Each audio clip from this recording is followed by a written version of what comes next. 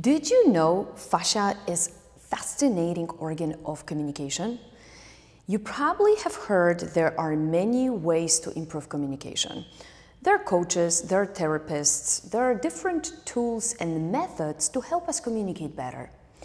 And regardless of what steps and route I would say you decide to take, looking at your whole system versus parts of your body and behavior is a holistic perspective I propose. So let's take a deep look underneath your skin, okay?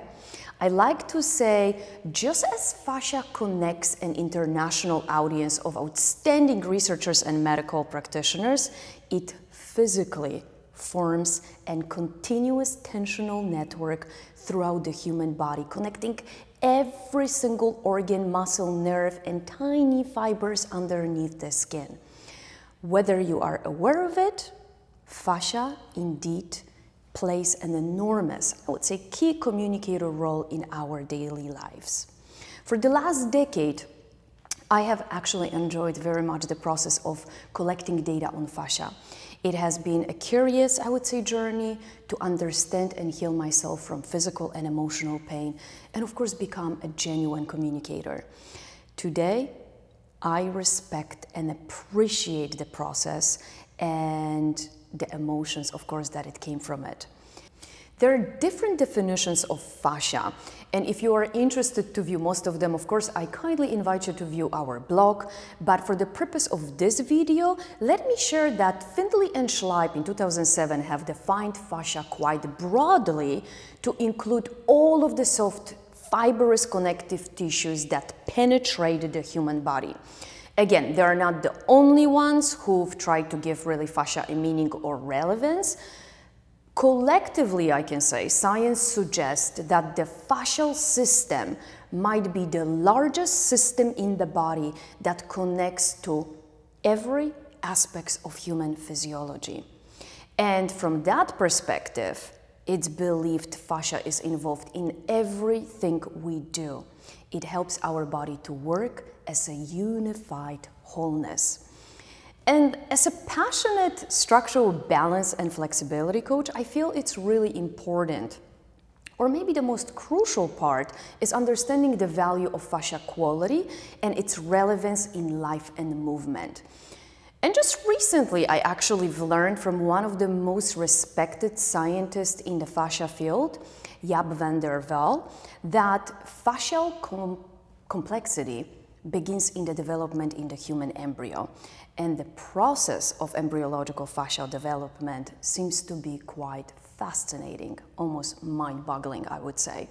Based on my personal life experiences with emotional and physical pain, I strongly believe the fascial network is one of our richest sensory organs that can help us move effortlessly.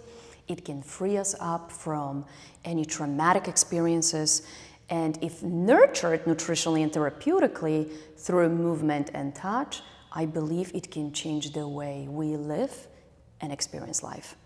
And the subject of how we experience what is going on with and in our body, how it is correlated to fascial uh, receptors, emotions, and self awareness, is elaborated in the second edition of the Tensional Network of the Human Body, written by Robert Schleip and many other uh, very well known and respected scientists.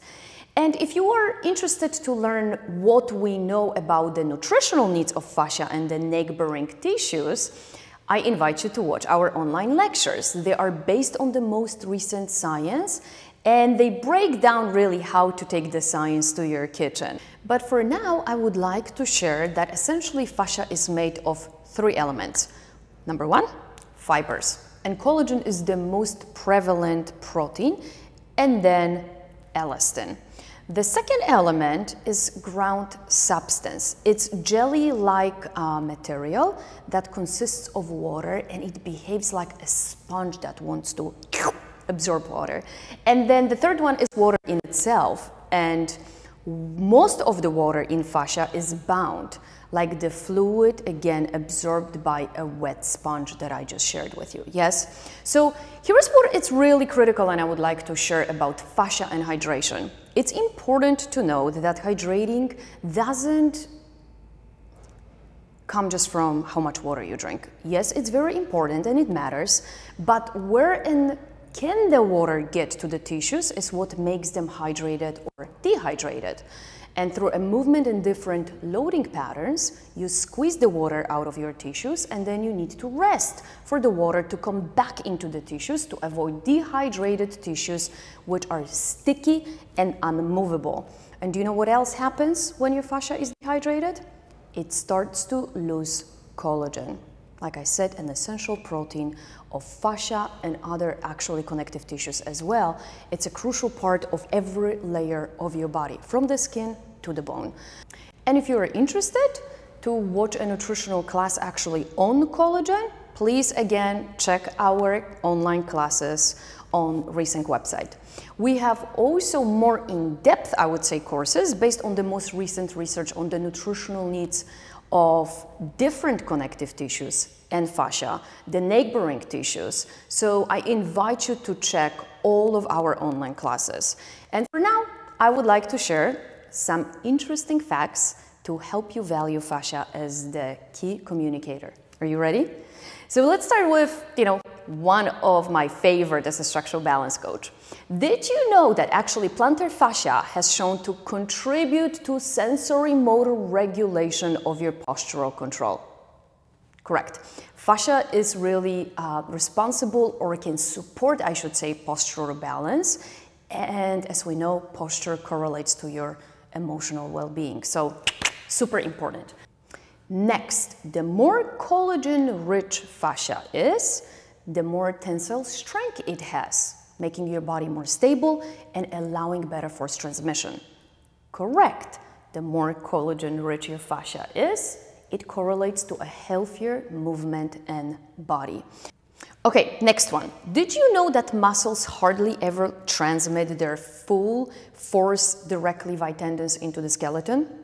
They distribute a large portion of their tensional forces onto fascial sheets, which then transmit the forces to synergistic and antagonistic muscles, meaning the quality of your fascia dictates the quality of your movement and entire musculoskeletal system.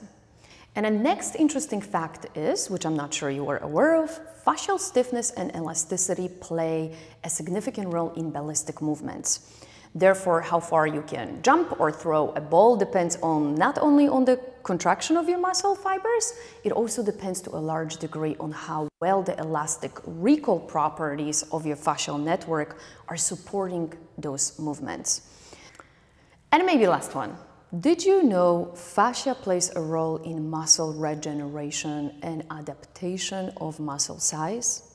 It really does. That's why the way you mechanically load your body will impact your myofascial system, strength, stability, pliability, and shape as well.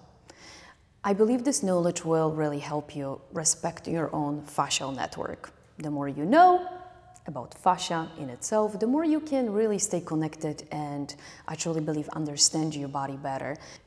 And as you may know from my previous videos, my goal is to help people live healthier life. My goal is to help you live healthier life.